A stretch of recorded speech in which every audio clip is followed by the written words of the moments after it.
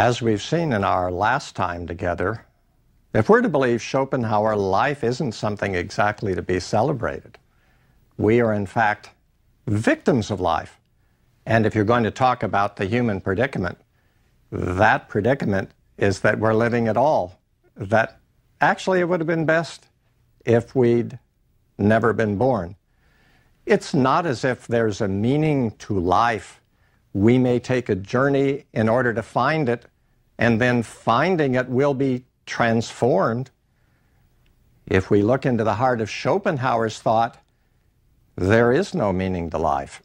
But here we are anyway, and it's on balance a good thing if we don't linger here terribly long. The meaning of life is partly the discovery there is no meaning to our lives, and that perhaps the best thing is an exit. Speaking simply, what an awful mess to be in. What a terrible situation. If there ever was pessimism, this is it. This is Schopenhauer's pessimism.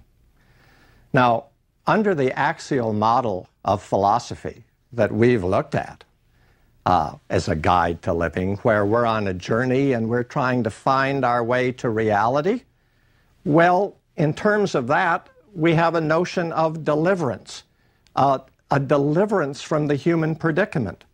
And that deliverance is often understood as escaping ignorance. But maybe the deliverance needs to be something else. Now, because philosophy has primarily been rational and primarily emphasized the benefits of thought, usually the philosophical concern has been with that very predicament of ignorance. And it's thought by many that what's involved is a distinction between our lower natures and our higher natures, and that we have both lower and higher natures. And typically, our lower nature is viewed, well, either as bad in itself or less negatively as tending to distract us from the things that matter, the things that could transform us. Predecessors to Schopenhauer, for instance, both Kant and Hegel, who have become, in a way, old friends of ours, provide accounts of a kind of deliverance we might have from ignorance and a transformation our, of our lives to a higher level. Remember that Kant says that there could be a rational moral life. There could be a life in which, in fact, we would find our duty, we would act under the proper motives, we would live with a rational morality, we would keep our desires subsumed and in order, and that would relieve us of the dangers and the distractions of desire and allow us better to have awe and wonder and think of questions, though we can't answer them, are nonetheless questions that make us fully human to ask. Hegel distinguishes between our ordinary life in the world and our philosophical comprehension of the world. And what Hegel thinks is that we are at a higher level. We have overcome ignorance and the confusion and the loud noise and roar of an often kind of confusing history if we can understand a narrative story that tells why history has come where it has, what our place can be in it, and what history means. So in both cases, Kant, rational morality that might have rationally religious consequences, Hegel, a comprehension of the journey of the human spirit, we do have the notion of deliverance from ignorance and a movement toward maybe at least an elevating insight, maybe not necessarily a transforming one. Both of these conceptions, whether Kant's or Hegel's, actually derive from a kind of psychology found in Plato, where we have at the highest level reason, then we have our will and our willpower, and beneath that we have desires. And in the best of worlds, reason rules, it guides the will, and our will takes care of, controls, moderates our desires. It's different in Schopenhauer. In Schopenhauer, and we're going to see this, his views do become terribly influential. Knowledge that overcomes ignorance regarding our human situation. That's not enough. We can know all the sorts of things he's already told us that we've talked about in the previous lecture. But that knowledge in itself won't be enough to have. It won't get the job done. And that's even further pessimism. Schopenhauer, as we know, has talked about how there's this pulsing desire, this energy craving satisfaction in us. And now that we know that, what do we do? And Schopenhauer says knowing it, as he says he's told us, isn't enough. It isn't going to solve the problem. What Schopenhauer does tell us is that when you come right down to it, knowledge is just simply the unwitting tool of the activities of the will, of the activities of this pulsing energy within us. I think there's a very nice way to illustrate this. It comes from a novel that I believe won the National Book Award. The novel is From Here to Eternity, and its author is James Jones. Not only did I read the novel, but I saw the movie, and in my era, it was a different set of actors who played in it. Uh, but in any case, if you look closely at that novel, there's a particular scene that I think is very revealing, and you could almost say it's out of Schopenhauer. A sergeant comes to the home of the captain of the base. The captain of the base is not home, but in that home is the captain's wife. And the captain's wife and the sergeant sit and chat with each other. And actually, it's a fairly sophisticated conversation. Well, it's complicated anyway because they're talking about, guess what? Philosophy. And you could almost say through philosophy, they're talking about what the meaning of life might be. Maybe it doesn't go quite that far, but that element is in it. Well, at one point, the wife of the captain starts to take off her clothes. And she says to the sergeant, Isn't this really what our conversation is about? All this fancy talk we've been having about philosophy and ideas, isn't this really what is going on between us? Well, I won't go any further in the story except to tell you it might be saved from X rating because what actually happens is that they hear a crunch of gravel in the driveway because the captain's coming back. Full stop, the sergeant leaves, and the rest is history. What Schopenhauer would have said about this is, ah, nearly a perfect model of what human life is like. There are these underlying magnetisms, these underlying desires. It's awkward for us to talk about them, but they're always there. We often live in a fancy world of ideas. We get articulate. We talk about grand things. We get analytical. We get reflective. But beneath it all, and we all know it every day in every part of our lives, and it wouldn't necessarily have to be sexual parts. Every time we pass a particular restaurant, I won't name any here, but or any particular place to get coffee, or any particular place where a desire of ours might be satisfied, what happens? Ah, yes. What happens is that we're reminded that these are the sorts of desires and things that are us, and if we could admit it to ourselves, rule us. Let's consider further. Schopenhauer thinks that knowledge is controlled by and doesn't itself control the will. Strictly speaking, he thinks knowledge, like Kant did, is restricted to appearances and offers explanations that don't reach reality. Now, Schopenhauer does claim to have a kind of wisdom regarding human life.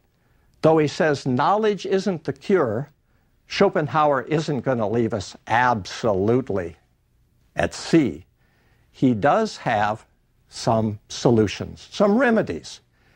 If life is the disease, and importantly, Schopenhauer thinks it is, Schopenhauer often speaks and offers cures or a cure. He says that the world that we experience, we understand materialistically. Uh, but he claims the world couldn't be a material world. There's got to be something behind it. He says if you think about causality, if you think about the presence of forces in nature, uh, a, a material account will finally not add up. But he doesn't go into that in any great detail. He tells us that there are basic categories our minds have to use. We have to think of things as being in space. We have to think about them as being in time. We have to use causal notions. We think of inner motivations. But those categories only give us the appearance of things, never their underlying reality. Now, in some ways, in some of the things that Schopenhauer is saying, he anticipates some developments in contemporary science. And with respect to what he says about the agony of what is the deepest in us, in some ways he anticipates some things that are said by the great psychoanalyst Sigmund Freud, who we'll be talking about in a later lecture. We might pause for a moment just to realize that Schopenhauer leaves us in fundamental underlying dilemmas. We know appearance, but it couldn't be reality. Our own experience of our secret inner life, secret in the sense it would probably embarrass us to talk about it, is really the experience of reality. Well, what to do? How to get some kind of cure for what could almost be called the disease of living. Well, let's consider this one further. Let's see where he can take us. He says this will, this underlying energy, is something to be escaped. It's not something to be embraced. And he thinks there are four methods we might use in order to escape it. We need to escape the destructive ravages of the will because of the very account Schopenhauer has given us of its nature. He says this will is not progressive. It isn't, as in Hegel, that there's this grand journey of the spirit going through stages. As we know, Hegel thought that by the 19th century, happy, happy, and for us even more so, all these stages have been gone through and we can celebrate them. Our imagination can allow us to recapitulate them. We can enjoy them. We can say we've arrived. Oh no. Schopenhauer says history isn't really going anywhere. All the scientific and technological progress there ever could be, we're not going anywhere. Here we are. It's too bad that we're here but we're not going anywhere in the sense of a progress of history. And Schopenhauer also says that this underlying energy, which he calls the will, as I said before, it's insatiable. Every satisfaction you probably temporarily, maybe, if you're lucky, satisfied, then bored, then the desire comes back. Or maybe you don't get the satisfaction that you need or that you want, and it could even be an unexpectedly painful satisfaction. So, in a way, what Schopenhauer is saying is our life is a life of deep, agonizing frustration. The meaning of life, no meaning. The pursuit of the meaning of life, well, our pursuit should be to be delivered from the human predicament. And that predicament, again, is that here we are the predicament is not that we don't know enough. The predicament is that we live at all. Now, I hope by now you've got some sense of why I say Schopenhauer, pretty pessimistic guy. Well, he does offer four methods of escape from the influence of this pulsing energy we call the will. And as we'll see, each has, to a certain degree, significant limitations. How to be delivered from our pulsing energy that is the depth of us, how to get beyond it, realizing that that's what the pulsing course of history is. Well, the first of the solutions that Schopenhauer suggests is what we might call aesthetic contemplation.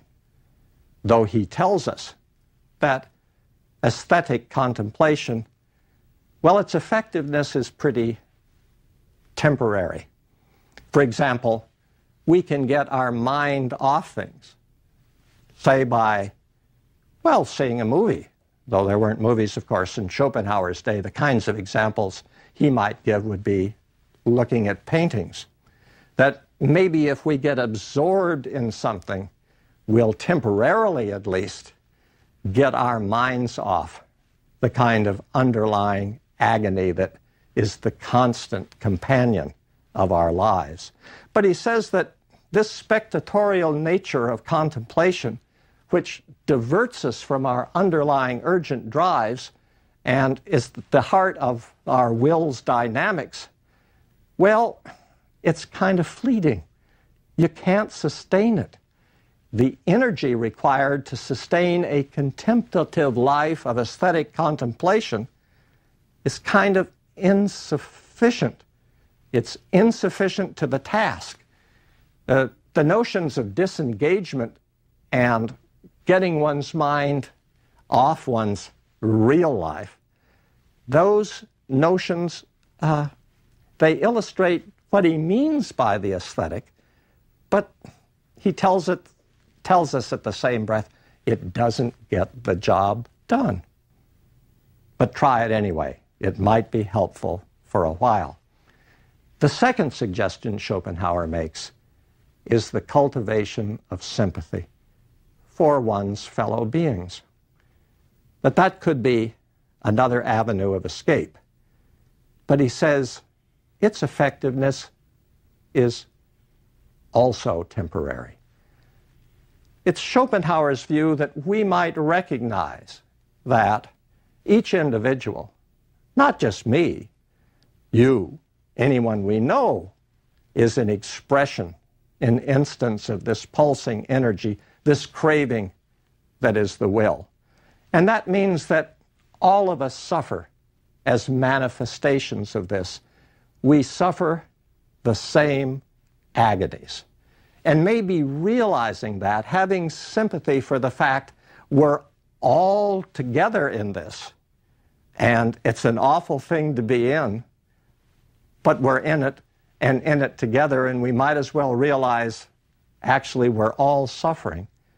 Schopenhauer th- thinks that that will also, in a way, however temporarily, alleviate this sense of underlying agony of desires felt, denied, desires we try to hide from ourselves, desires that we live with and don't know what to do with maybe a sense of sympathy that that's everybody's situation might be a partial, partial alleviation. Not a cure, but at least something that temporarily will help us along.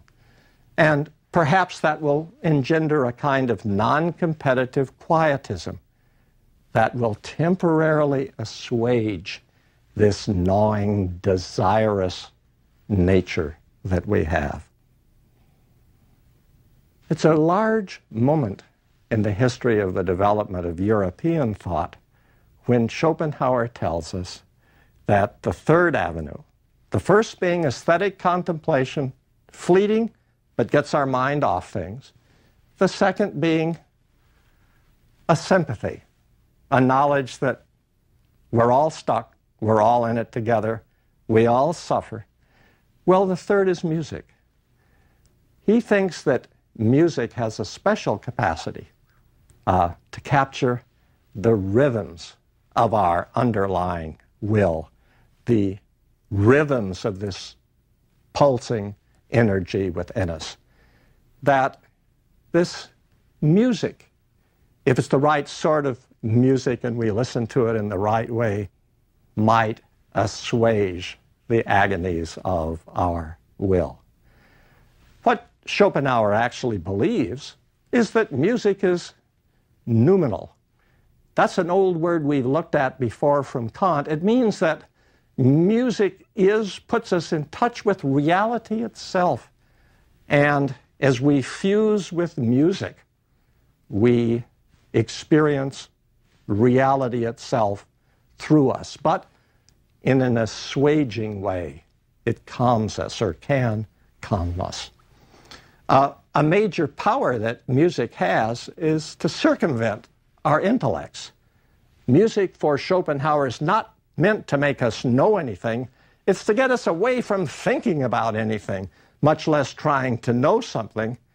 And he thinks that music speaks in a language that can and does put us more at one with ourselves. I must say, it probably gives away my age that a lot of the music that I listen to myself doesn't exactly make me one with myself, but, well, I won't go very far into that. A very famous German composer of the 19th century is Richard Wagner. And he's probably known a great deal for various operas that he wrote.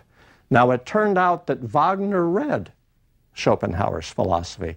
Remember, I said before that The World as Will and Representation was written by Schopenhauer in 1818.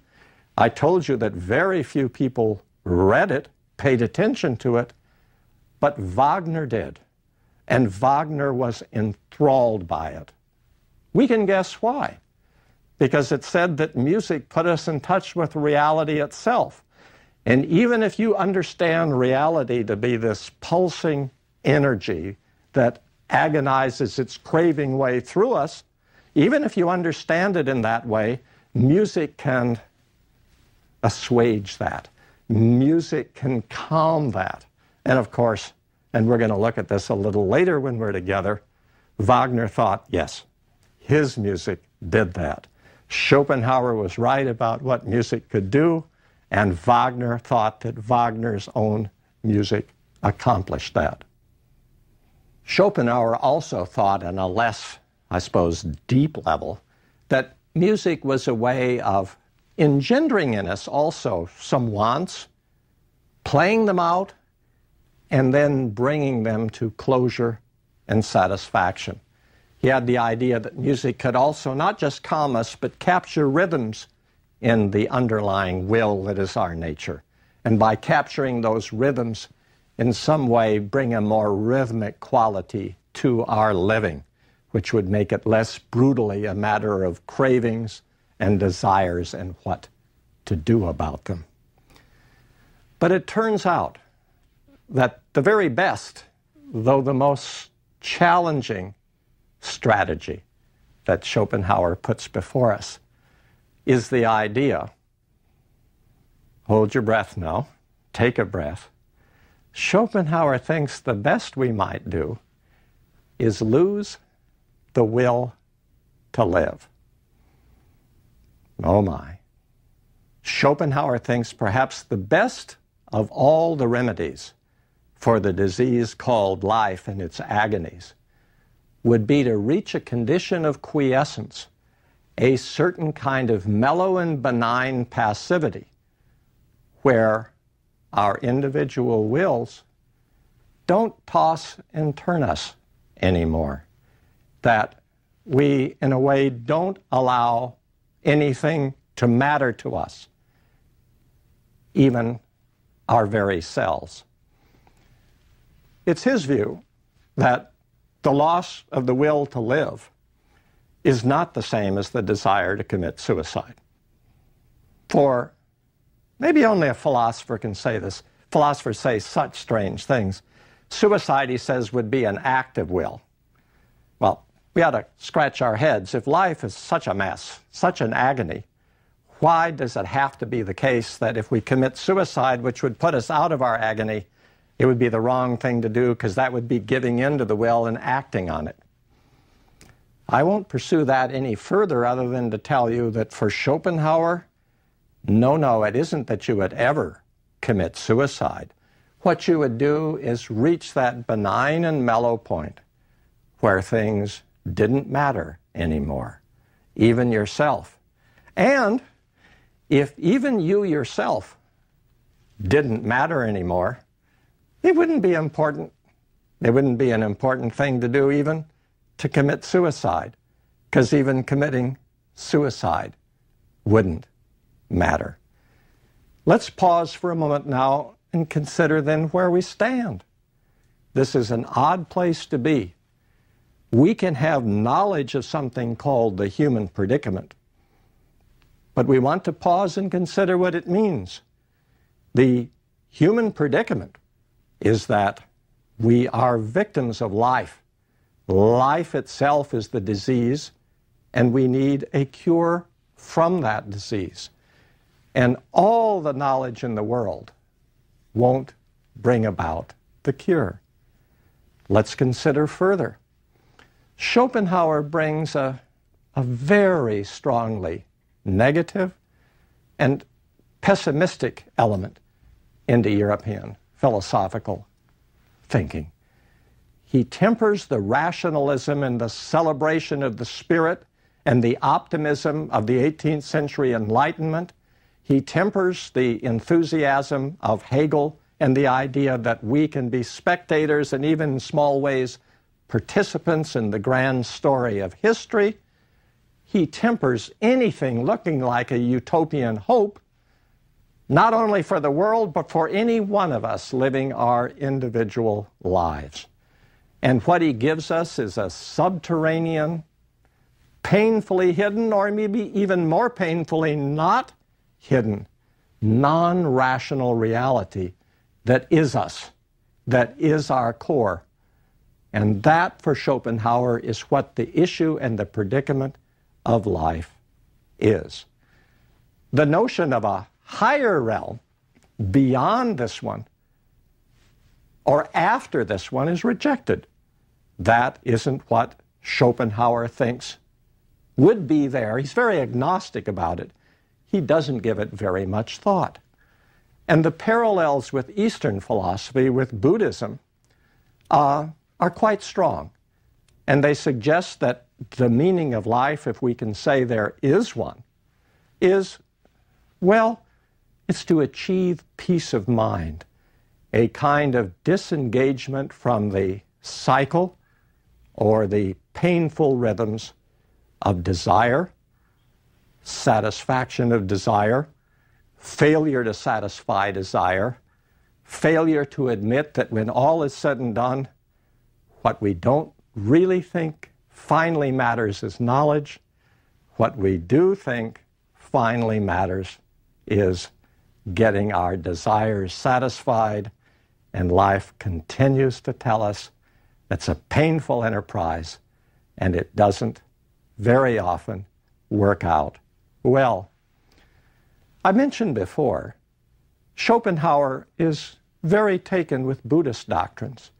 And as I said before, he probably was the major figure, the influential figure, who brought Buddhist thinking to the West in a way that made it spread.